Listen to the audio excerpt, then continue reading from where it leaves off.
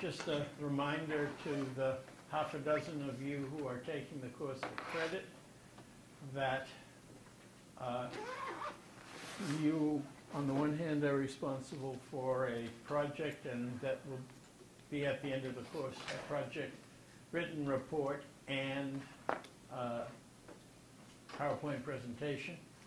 Uh, And uh, those of you, a couple of you, two or three of you have seen me recently about your, pro- your project, but if you haven't seen me lately uh, about your project, would, it would be good to see me about a status report.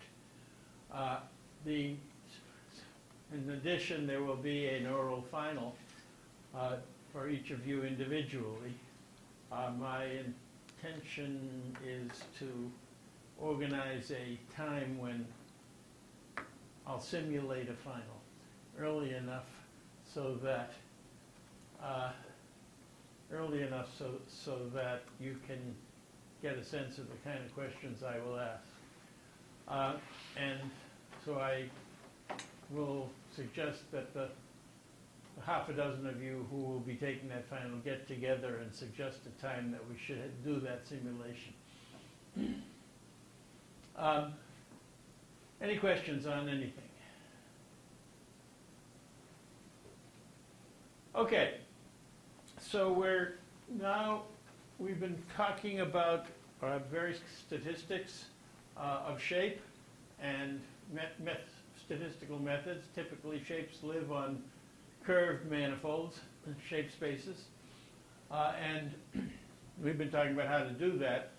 Uh, I just want to make clear the people are sometimes interested in the notion of correlation. Uh, The the correlation of, for example, the set of features on, uh, that describe a shape. Uh, Correlation is simply covariance divided by, wrote, standard deviation. Okay, so that is to say where each feature, instead of being the feature itself, is a modified feature, as that feature's different, difference from its mean divided by, well, in covariance, it's already subtracted by the mean, from the mean, but that difference is divided by the standard deviation. It's in units of standard deviation. Once you have the features normalized that way, covariance is just co- correlation. Correlation is just covariance. Um, Realize that statistical independence implies zero correlation, but but not the reverse. And a particular situation, if we have shapes that, for example, have two forms, right? And so the shape distribution, the probability distribution is essentially got a mode for one of the forms of the shape and another mode for the other, and you get a- some kind of a mixture, if you will, between them. You get a probability distribution like you see here, a bimodal distribution. Then the, this issue of independence uh, can be affected by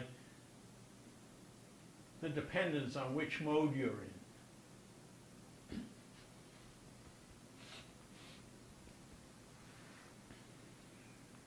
Okay, we've been talking about Gaussians as if we knew what a Gaussian on a curved space was. Uh, the eigenmodes of that are produced by PCA, or for that matter PNS, um, can be understood as the principal axes of a Gaussian. Right? So if you have a uh,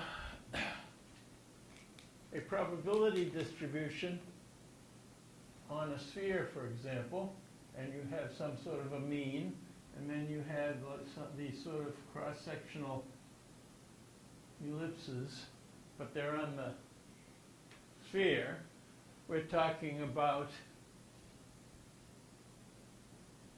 the principal axes of that, of those ellipses. Um, But we need to be more precise. And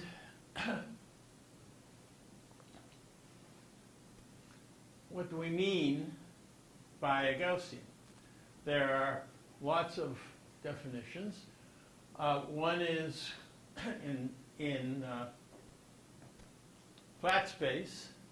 We're all familiar with this uh, constant times an exponential e to the half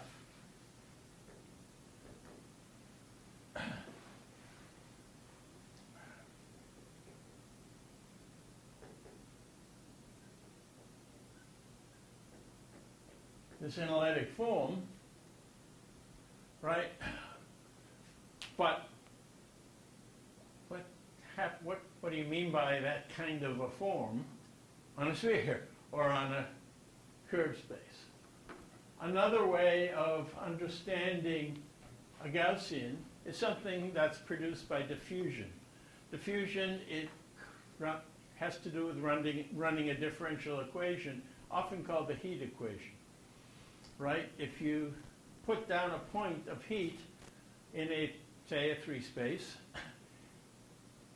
and all the rest of the space is empty, and then you run this heat equation, what happens is, as a function of time, the temperature distribution grows like a Gaussian. And if the if if it's uniform, the Gaussian is just uh, that all, in all directions has the same standard deviation, but if you make the conductance vary in uh, different orthogonal directions by different amounts, you can get a, a, a Gaussian that, that has a, a non, a, a non-diagonal covariance function. Okay, but so the point is that you can run diffusions on curve spaces. Right? So you have a point on a sphere, say this point here, and you have you have some geodesic through that through that point and another orthogonal through that point, and you have different uh, conductances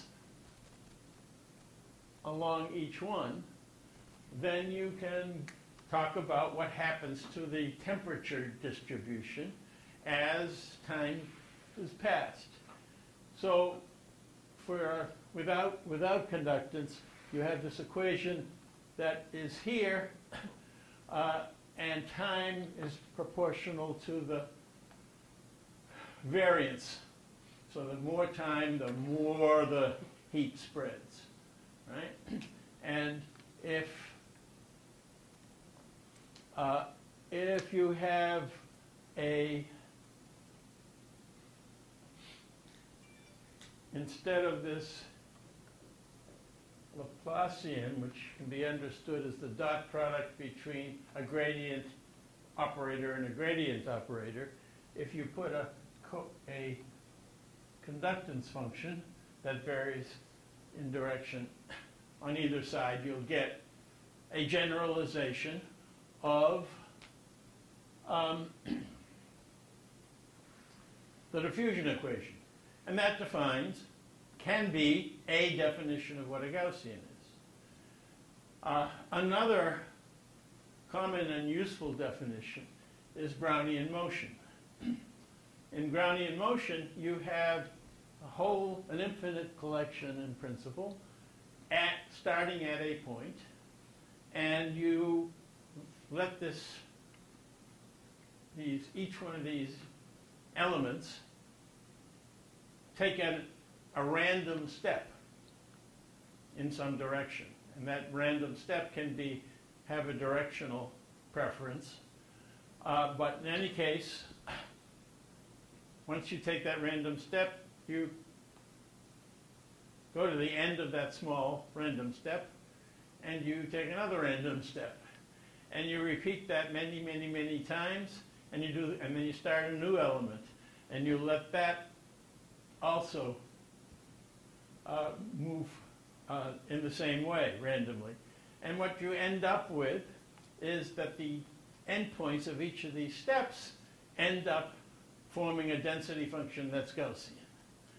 And so you can do that in Euclidean space, but you can also do that with regard to geodesic paths from a point.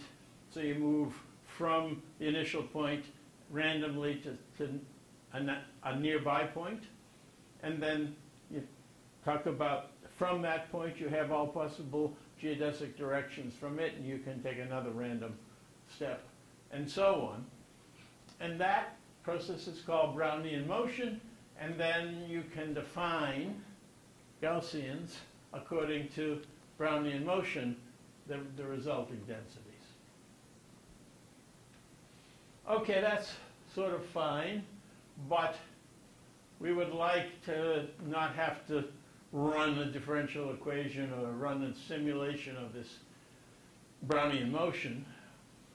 And so we can look at this equation here, but where this distance, instead of being a vector dif dif difference, is a, well, it's a vector on a sphere, right? It's the geodesic vector going from the point z to the mean, right? And that's just fine. From, from that, you can get a probability distribution that's analytically defined, except that the sphere is cyclic. It's not infinite, right? So what happens is, strictly speaking, the Gaussian in, in two space goes forever, right? Yeah, it gets very, very small. By three standard deviations out, it's really, really tiny. But nevertheless, it goes from forever. And as a result, what happens is when you start at a point on a sphere, as you walk around the sphere, you, you wrap around. It's a cyclic entity. and so if you're going to do it, things very precisely, you have to talk about the density at a point being the sum of all, over all the wraps. It goes around and around and around and it keeps getting infinite number of wraps. And that's painful. Uh, there is theory that uses the wrap Gaussian, but a mo much more common thing to do is to use a, a probability distribution that is known to be in the limit Gaussian anyway.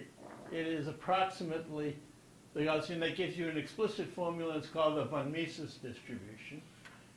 And you will find a whole lot of the literature uh, about Gaussians on the sphere saying that they use the von Mises distribution. And I'll show you the formula in the next slide. Okay?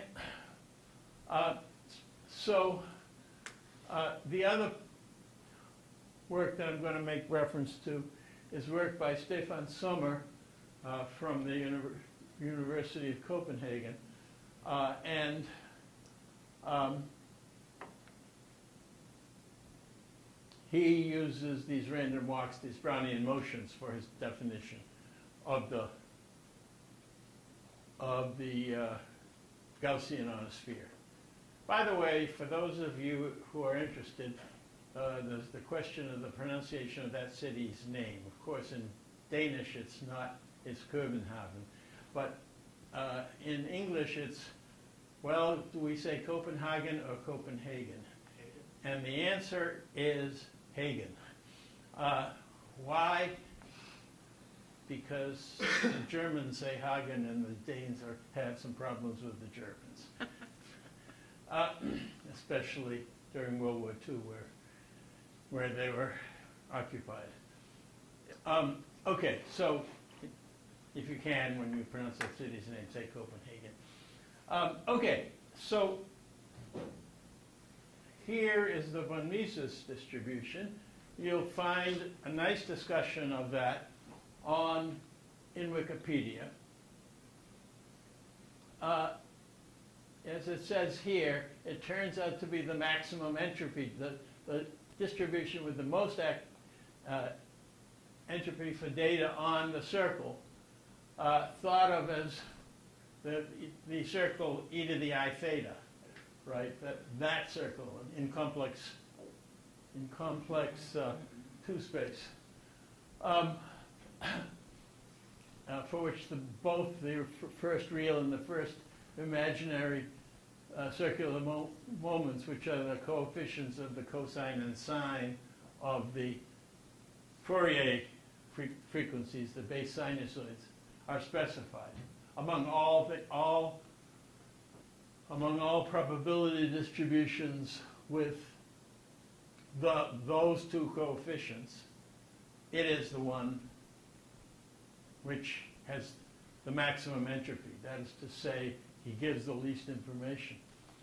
Anyway, here's the formula for it. You see here the two parameters are called mu and kappa.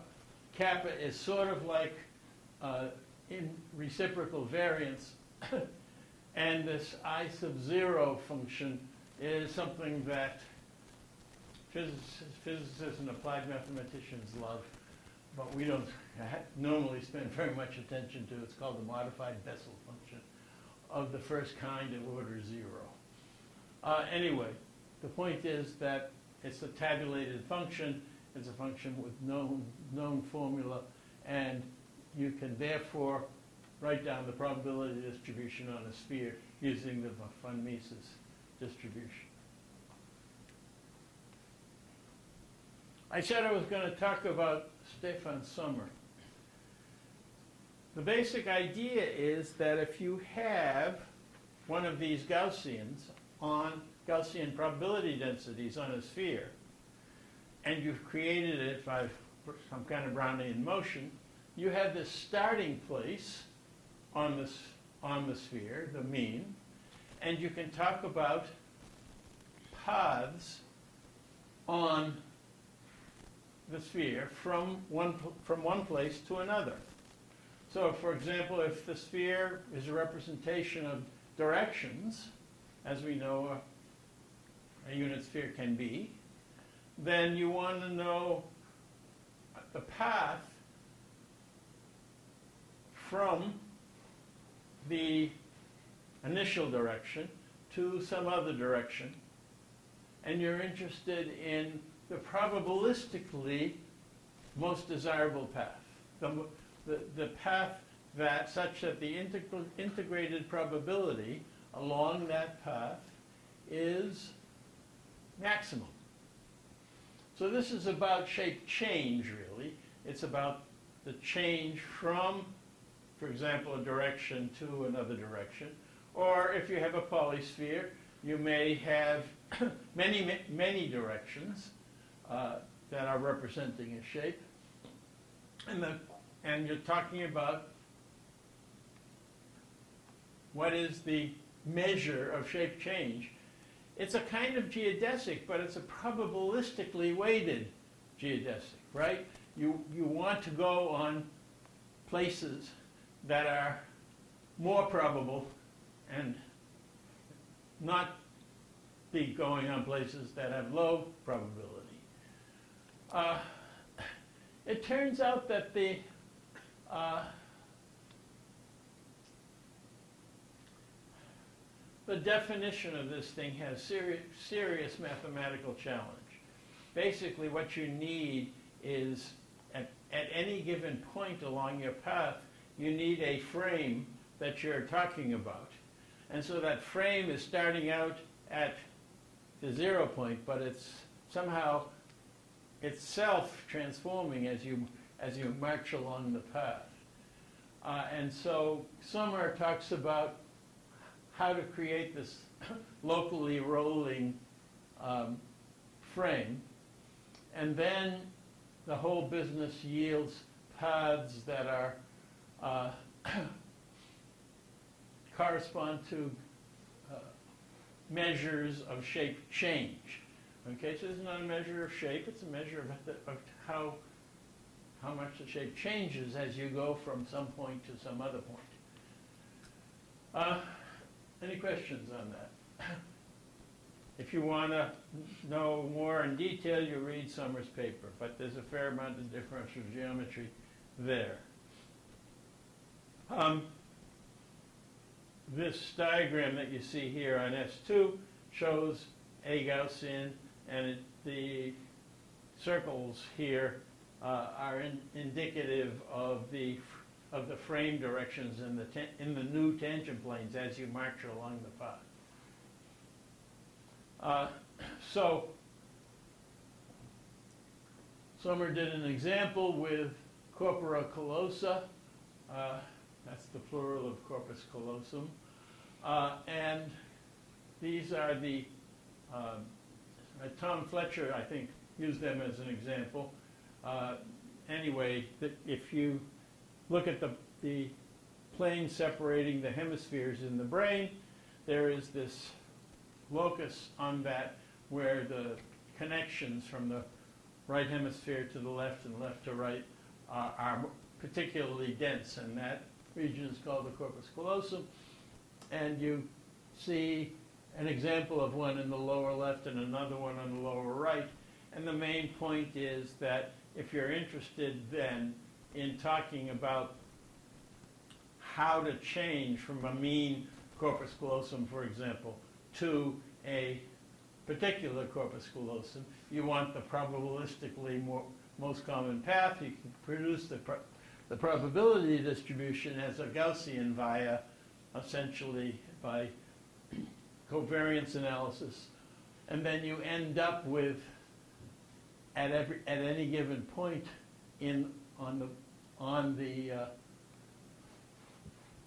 corpus callosum, you can, you, you can be talking about the vector that is the, form, the displacement vector from that point to the other points that, that yields the most common vari the most probable variation between the base shape, the, for example, the mean shape, and the target shape.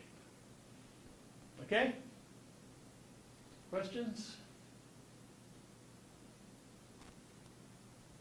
Okay, so I'm leaving the, the topic of Gaussians now and moving on to the topic of hypothesis testing. We're going to be talking about hypothesis testing for two purposes. On the one hand, we have shape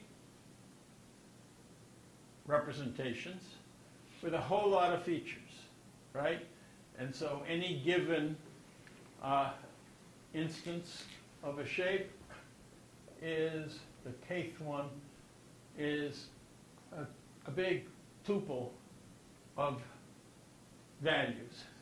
So it might be, for example, the normal at one point is a couple of values, and normal at another point is another couple of values, and normal at lots of points is, if you have n points, you have two n values, right?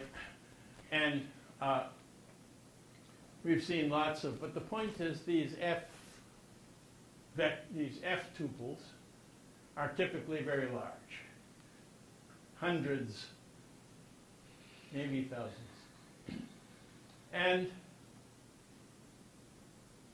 now we start off with two classes, for example, a diseased shape and an undiseased shape class. So you have a bunch of examples of people with the disease and a number of examples of things without the, the, pers the person does not have the disease.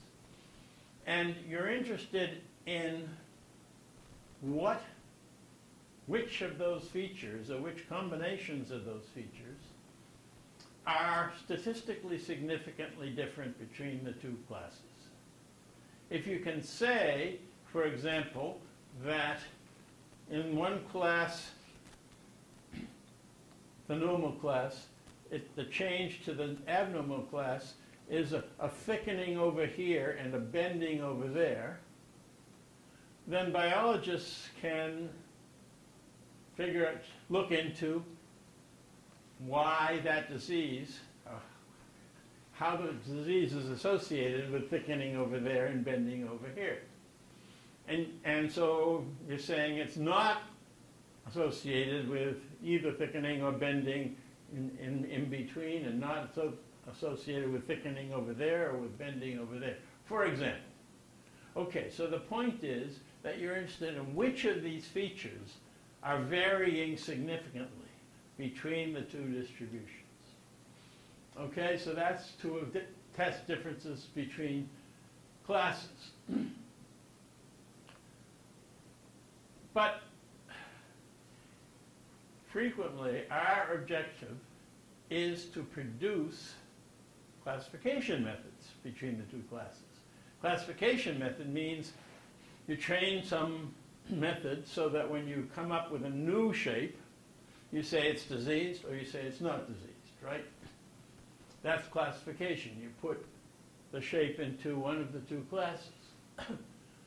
um, okay, that's great, but now we have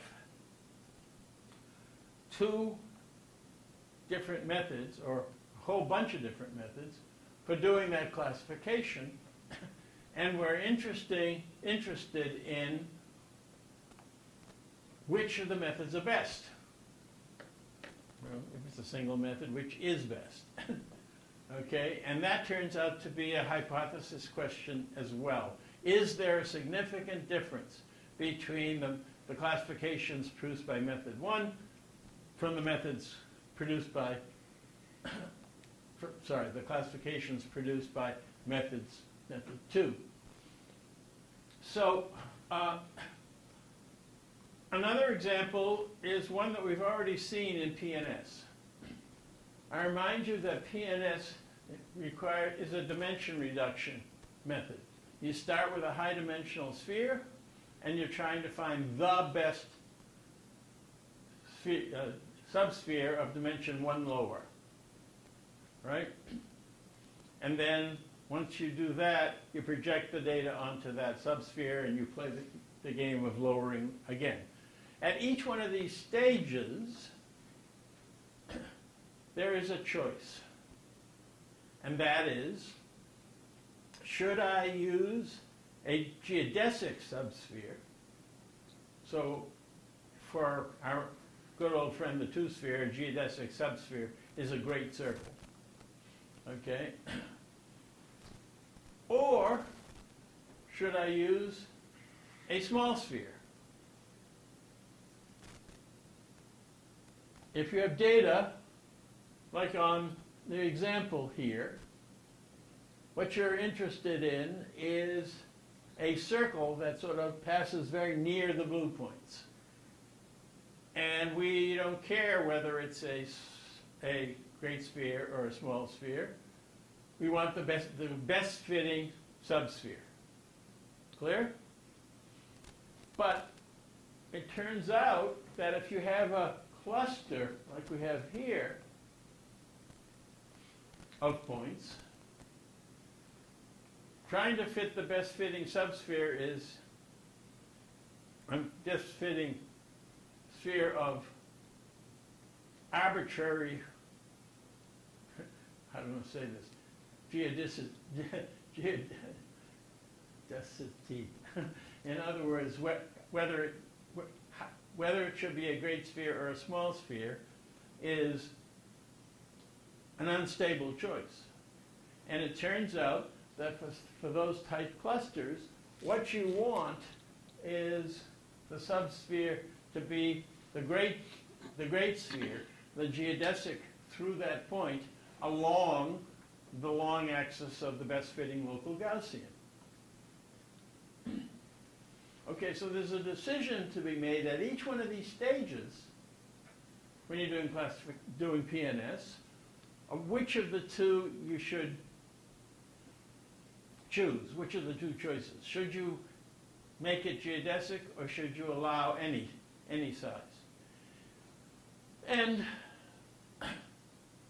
the point is that that decision depends on a hypothesis about what the shape of the probability distribution is of our data at that stage. And the decision can be made differently at each stage. I mean, it has, can be made separately and can, can say it's clustered at this stage, you should go geodesic, but it's not clustered uh, and fits nicely to a, to a small circle uh, in some other stage of the process. So inside the PNS algorithm is a hypothesis test to decide which of, which of those two you should, which of those two you should take. And so there has been a good deal of study by both Sungkyu Jung, who invented PNS in the first place, and by Benjamin Eltzner uh, as to what the form that hypothesis test should take. So I've given you a bunch of examples of hypothesis testing, and the next part of the lecture has to do with the form hypothesis testing should take, especially in curved spaces.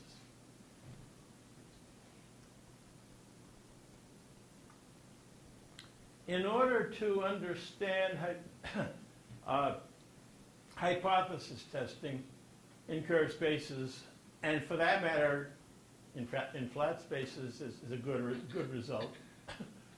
uh, we have to understand something called permutation tests.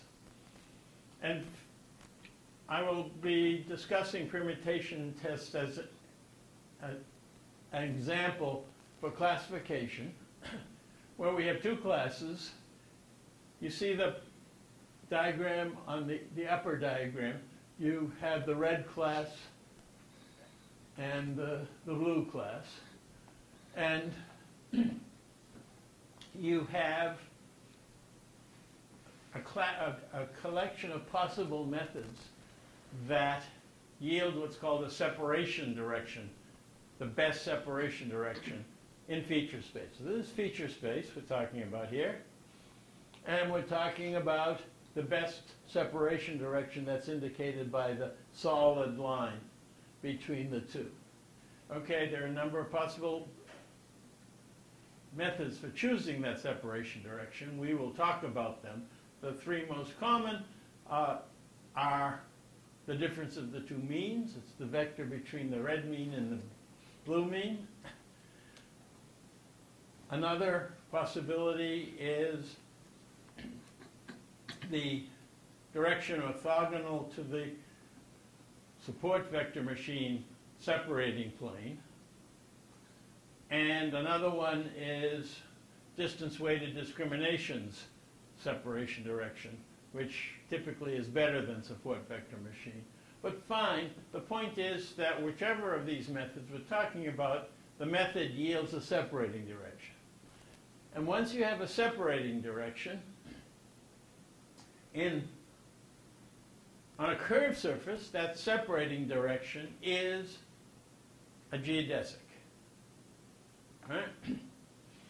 And now, what you're trying to do, what you're going to try to do, is to take every one of the red points and project it along the separating direction. Okay? So, better be a little careful here. In, in flat space, it doesn't matter whether the line is the one shown or parallel to it, the projections will be all, all the same. They're projections orthogonal to that line, right? But, it, but be careful in three space because, I mean in curved space, because it matters which geodesic you're talking about when you're going to do projections along geodesics to it. So typically we uh, we use the, that particular line that passes through the mean of the means. Okay, the, the global mean of the blues and the reds together. Fine. Okay, but when you do that, you get a blue density function projecting all the blues onto that, right? So you have a, uh, a separating direction and you have a blue point. And here you have its corresponding projected value, right? And you have another blue point over here, and here is its projected value. And you do that for all the blue points, and you do that for all the red points. And what you end up with is two histograms. All right? And the so these are histograms of the projected points, the density of the projected points on the separating direction. And now what we're interested in is it, how statistically significant are those two histograms from each other? Right? how far apart, how strongly can you believe that, that those are different? And for example, for a classification method, you would like classification methods that produce more statistical significance. okay, so this ability to say how statistically significant has two, there are two possible methods that people use. And I'm going to talk about both of them. One of them is, involves using permutation tests. And I'm going, the features that we're talking about some, sometimes are not individual scalar features. So for example, a direction is, even on an ordinary two-sphere, is a duple, right? It's a latitude and a longitude, for example. and so these points are in a feature space, in that example, that are on a sphere, and one point is really a duple, not a, a single one. and so, so as to not simply talk about features, which are, the word feature suggests a single scalar sort of thing, I'm going to use the word GOP, not a political party, this is geometric object property. Uh, and, uh, and these are the places on our curve space that correspond to the points. And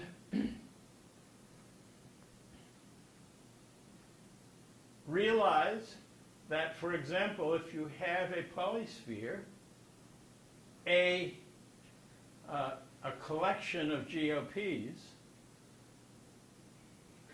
make up a point that has a value on the first of the spheres making up the polysphere, another, a place also on the second, a place also on the third, and so on. So you can end up with a feature tuple, like you have here, that's many uh, that's high dimensional. and the general question we're asking is which of these features are important for example, if you're trying to classify between diseased and non-diseased shapes, which of the features are different, statistically significantly different between the classes and which aren't. And so you end up making tests not simply globally, namely is it different between this and that?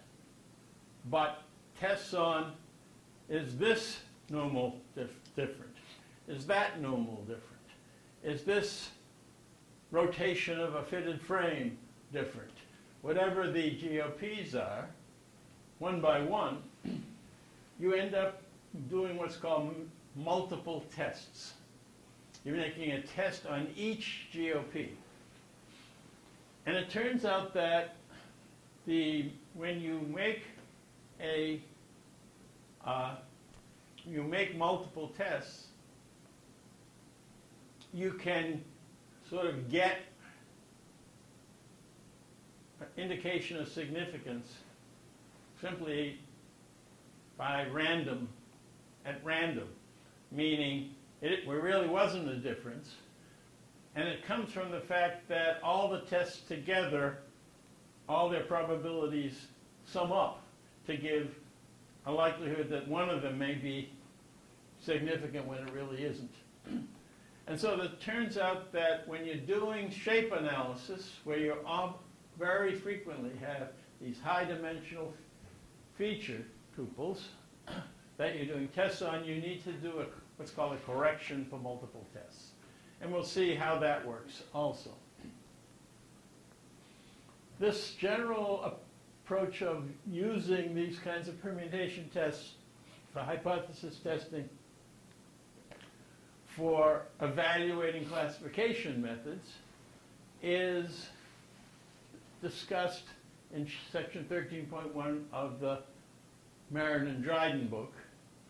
And it's a, a method that Steve Marron developed that he calls diproperm, where I think di talks about is direction, pro is projection, and perm is permutation. And so we're going to be talking about these permutation tests for making these decisions. Okay? Any questions?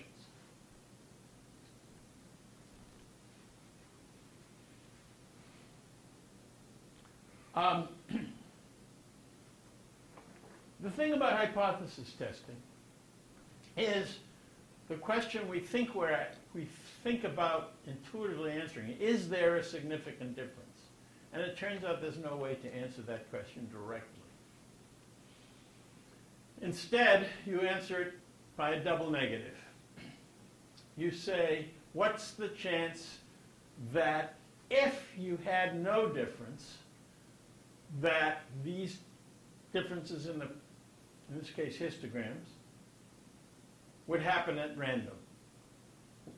Would happen, would happen reasonably likely when there was no difference between the two distributions. So you're assuming that there's this un underlying distribution, single distribution,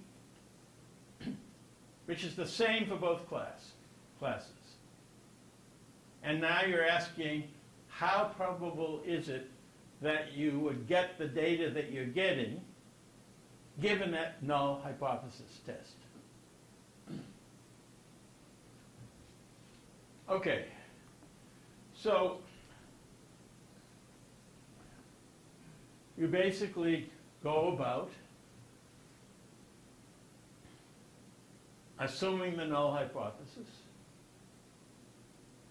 I emphasize, assuming the null hypothesis, and then studying what can happen at random under that null hypothesis.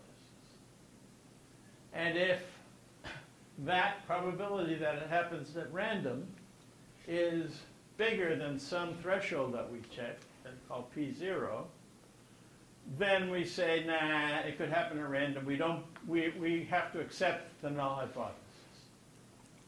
But if the probability that happens at random is less than this criterion level, which typically in shape analysis is num numbers like 5% or 1%, uh, if it's less than that number, we say, ah, it's a really low probability that it would happen at random, so we will reject the null hypothesis, which we take to mean then probably the original hypothesis that there is difference can be accepted. But strictly speaking, we're not accepting the hypothesis that they're different or rejecting that they're not different. Okay. If sorry if this is a repetition for those who understand this hypothesis. Okay, so typically what we have is training data, right? We have a collection of entities in group class A and a, a collection in class B. And for each class, we can compute a mean. So we have two means, one, one for the blue class, one for the, well, one for the group A, one for group B. We can look at the difference of those means as a multiple of their standard deviation. Of the multiple of the standard deviation of the difference. And the standard deviation of the difference of two means is the variance of the one class divided by the number in that class plus the variance of the other class divided by the number in that class. That's the variance of the mean to the half gives you I have a question. Yes. It- This is Sam, by the way. Um, is there? I thought there. I okay. I remember from high school statistics that that the Iene quadrature has some assumptions about the independence. Like, I thought that's assuming that the they're independent or uncorrelated or something. Right. Uh, and yes, that is, that is an assumption. Uh, that um, is uh,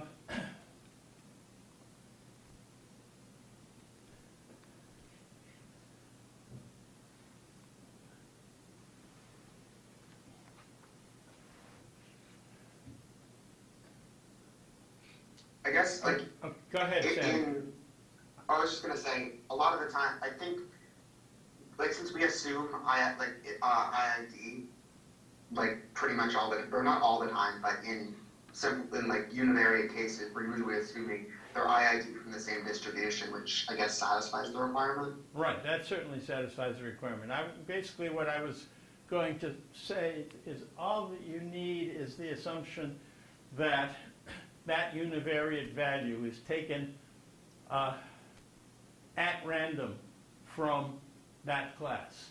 That that the decision on which, va- which uh, sample to, to take from the infinite number of possible samples that you could take is done without reference.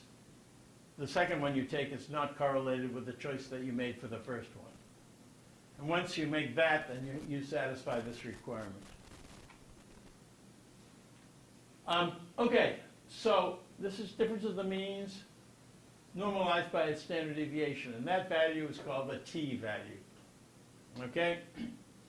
And if the probability distribution is Gaussian, then there's a whole table that you can do to look up significance as a function of the values, the value of this t value. But typically we don't have that, right? We don't have the assumption that things are necessarily Gaussian, and especially on curved spaces. You can't necessarily understand that these values are behave according to a re- reasonable Gaussian assumption. So there is, a, uh, you replace this so-called t-test by what's called a permutation test. And the basic no- notion of a permutation test is that if you have a probability distribution on those dif- differences on the null assumption. So if you had the null assumption, then you have,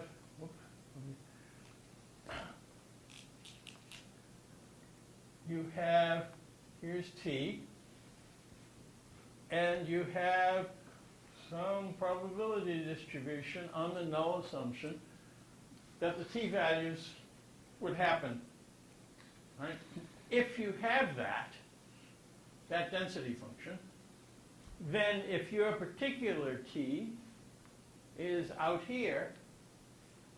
It says that it, the probability that it or greater will happen at random is the integral of the remaining little piece of density function here,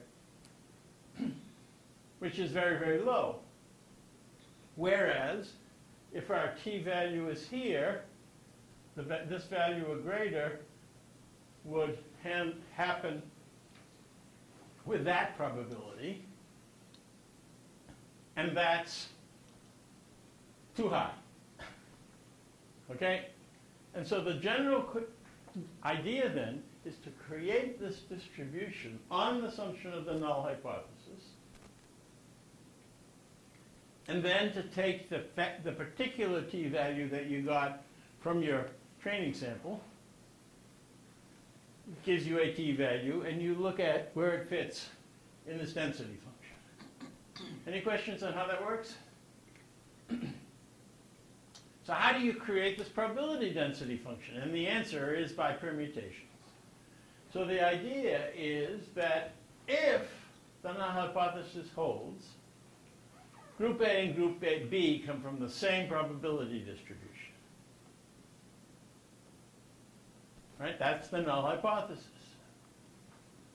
If that's the case, an element that was labeled group A could just as well be group B and one that's labeled group B could just as well be in group A because they both come from the same probability distribution.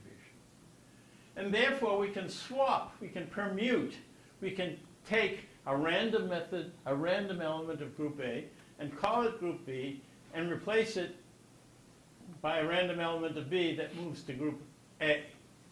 And we do that multiple times. okay, so we take a bunch of random elements from A, put them in B, and a corresponding bunch of elements from group B and put them in group A. And if we do that, we haven't changed anything on the null hypothesis because they're all samples from the same probability distribution. And so the result is each one of these permutations yields a t value. And if you do that a million times, you get a histogram of t values under the null hypothesis. Okay, so this is the probability density, density of t under the null hypothesis. But that means over all these permutations.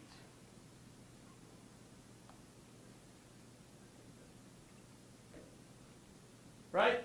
So it's really easy because typically group A is big.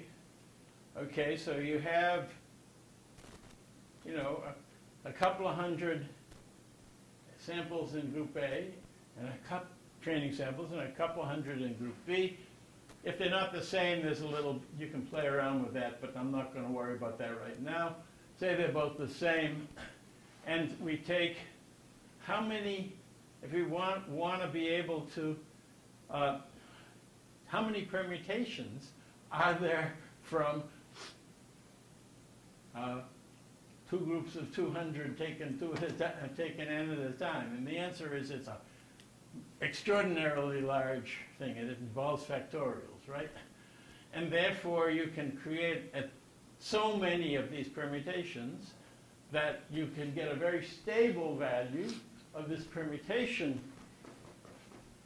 of this uh, t, distri- t distribution, so-called empirical t distribution.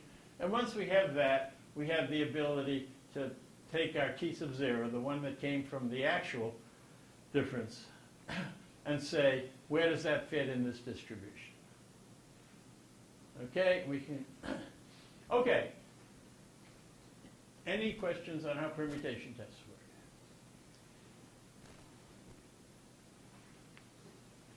work? Okay, so for shape analysis, we have these high feature, large number of features. Typically, because they, they, the features run over many, many locations. And so we end up with wanting to get saying, well, in these regions, the, uh, the null hypothesis is rejected, and we can say by how much, right? Because we get a p-value that's bigger than our, our criterion. Some criterion level that has a p-value that maybe is 0.05, is this, is this uh, area down here, and if our p, if our t-value is greater than this one, then its probability is going to be less than 0.05, and we're going to reject the null hypothesis, right? And we can record the p-value by displaying it on the surface, for example, and we get interesting results, right? Okay, so the problem is that so far I have described this with a single random variable. Okay, and that random variable has a scalar, a scalar value, and thus a scalar mean, scalar standard deviations. And that's just fine, but that's not our shape problem. Because we have feature tuples that are, well, I'll rewrite it here,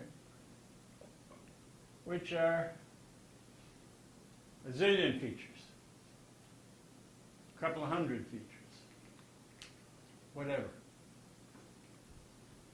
And so if we were to take a mean of this, it would itself, a mean over the k's, it would also be a tuple of that size. Right? And besides which, what mean should we want to take if we have a curved distribution? Nope. Not a Fréchet mean, probably. Although that's not a bad answer, I got a better one. Backward mean. Right?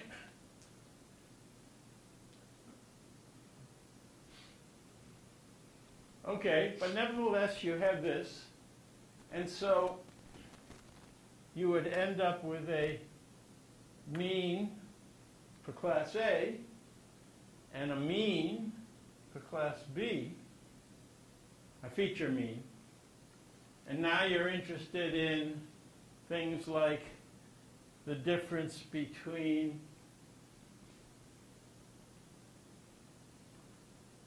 these two places, each of which lives on a curve space. And so you need to talk about geodesic differences between those two means. And then you also need to worry about what happens with the standard deviations down here, which are a whole covariance matrix worth of, of them. Well, they're the eigenvalues of our covariance matrix. Okay, so the upshot is we have to do something to handle the to handle this dimensionality of our features. Right? And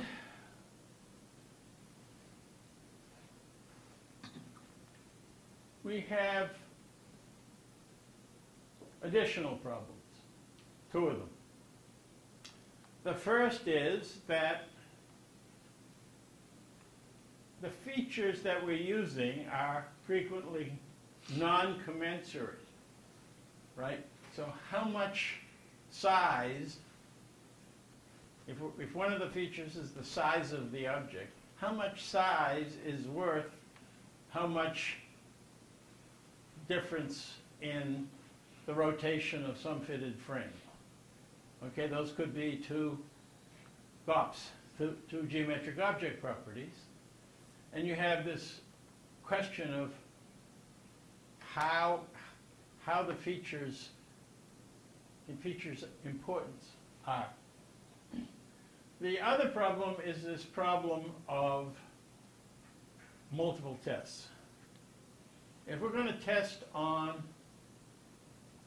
a hundred GOPS, hundred geometric object properties, if our criterion is 0.01, that is to say, we will, uh, we will call the null hypothesis rejected if the probability of the difference is greater than 0.01, and we do each one independent, each, we take each one and treat it as if it was uncorrelated with the others. Well, decorrelation is, is going to be something we're going to need to worry about, but let's, but you, that's what PCA does for you, or PNS. It decor, it produces uncorrelated features. The derived features that you get from PCA, they're not necessarily independent. They will be independent if it's truly, the situation's truly Gaussian, because for a Gaussian uncorrelated, uh, an unco a a covariance matrix that corresponds to a Gaussian with that does produce independence. But in any case, even without the Gaussian assumption, we can assume, we, we can use PCA-ish application to produce uncorrelated features. But uncorrelated features still has the problem that if we test them one by one, and they really were statistically independent I mean, from each other, the probabilities add. So if we had 50 features, 50 GOPs, each with a criterion of 0.01, the chance that one of them would would be at random greater than 0.01 is 50%, 50 times 0.01. Right? So the problem is that you have this effect of multiple tests that you can't talk about a criterion of 0.01 per feature as if it was that by itself if you're doing 50 tests, 50 features, 50 GOPs. Well, one possibility is to say, well, so I won't make my criterion 0.01, I'll make it 150th of that. So now I'm only going to accept the test if it's 150th of 0.01. Uh, because then 50, 50 times it will be 0.01, which is what we wanted. Right? Well, it turns out that that is the right thing to do if you truly have independent GOPs.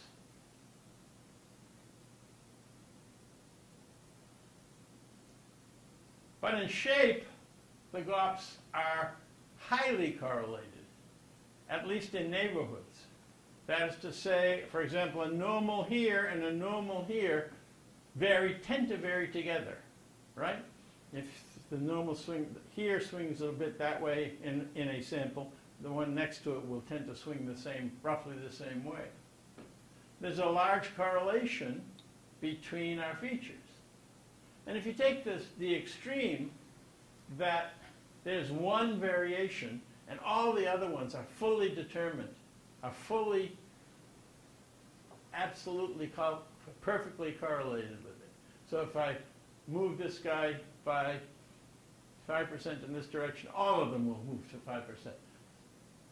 Then wait a second, there's really only one test. If, which, if you test one of them, all the other ones are not, don't need to be multiple tested. In which case there's no correction needed.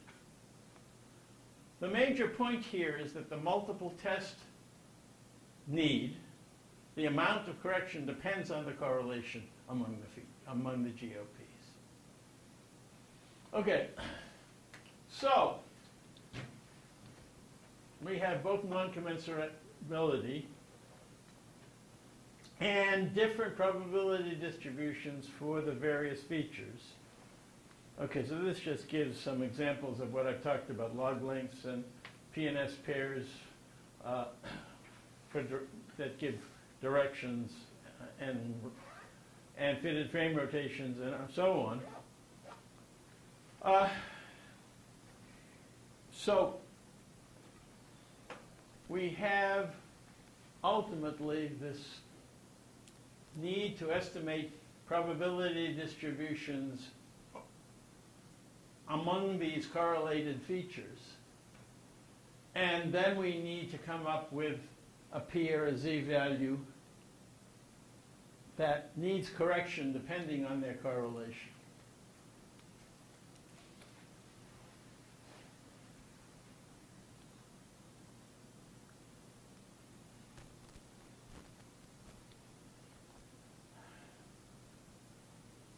Okay.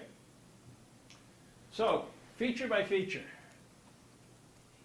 a mean difference of that feature is in the units of that feature, right? So volume minus volume, or difference between volume is, is in units of volume.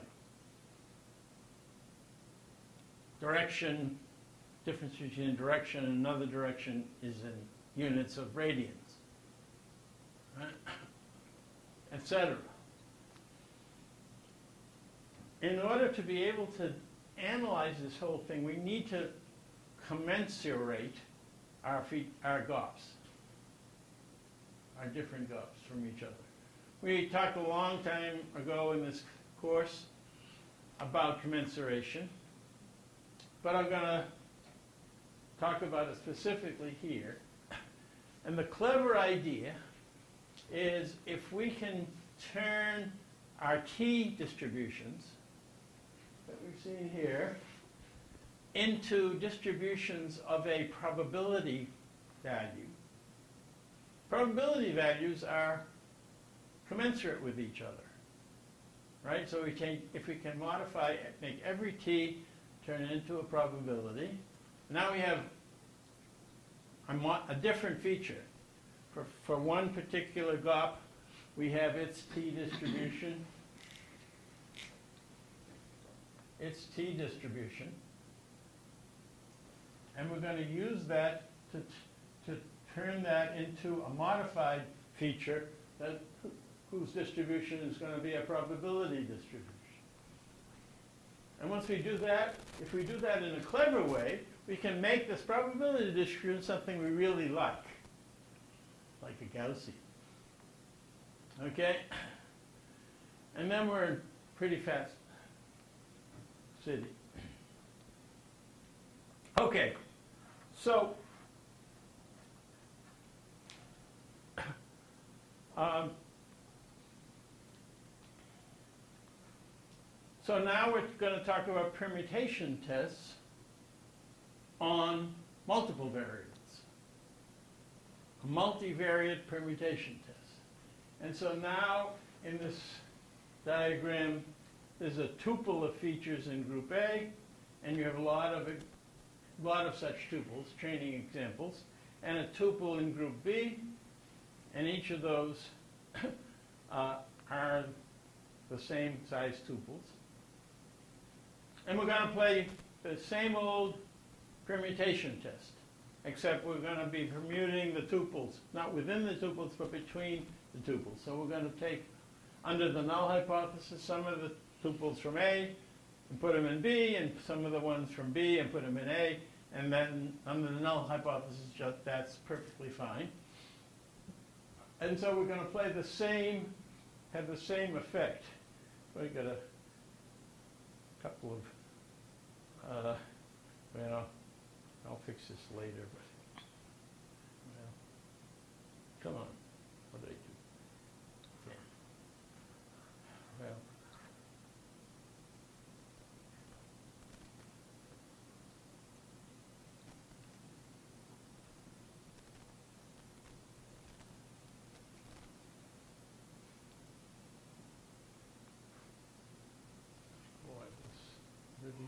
from, but fine, we will.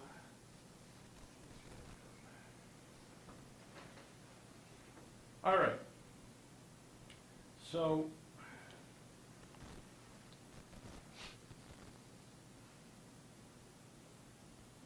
What we want to do is fix this in- incommensuration problem and make things, there's another SJ down here that I'll, I'll later throw away. Okay, anyway. How do we do that? This is just a restatement of the, uh, the, the problem when you have many features.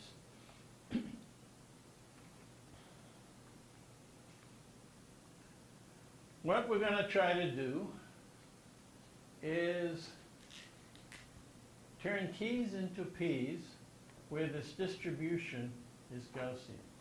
And not, not only Gaussian, we're going to want to make it a, our really friendly Gaussian, namely a what Sam called an IID, identity uh, independent Gaussian. So we have that it should be a, no, a zero, this probability distribution should be normal with mean zero. Our good old friend, uh, the isotropic Gaussian. And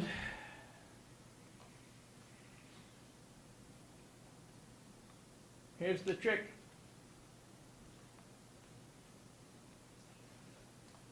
If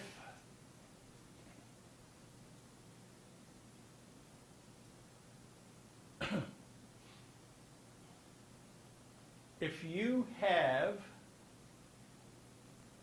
a variable with a particular histogram, okay? So let's talk about a scalar variable right now. It has a particular histogram, whatever it is. And you turn that into the cumulative distribution of this whatever it turns out to be. Right? Which is the integral from minus infinity up to that point of the value of the original distribution. And you use that as a mapping function on the original variable, that variable v, I called it f before, so let's call it f. If you look at c of f,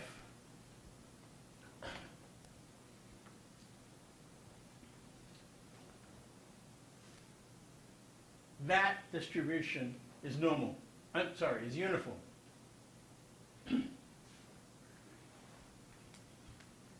this thing goes from 0 to 1, assuming this guy's normalized.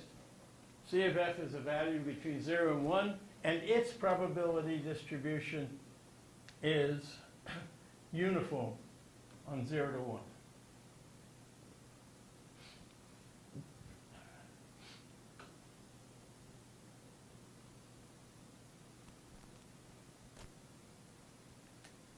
So we can take any one of these individual scalars and apply this trick, and we can make it uniform.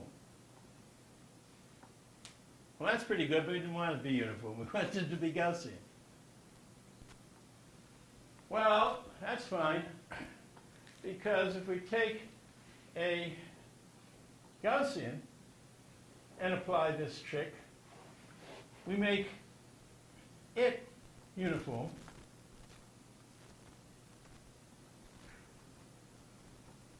And therefore, but if we do the inverse of that transformation, we're turning a uniform into a Gaussian.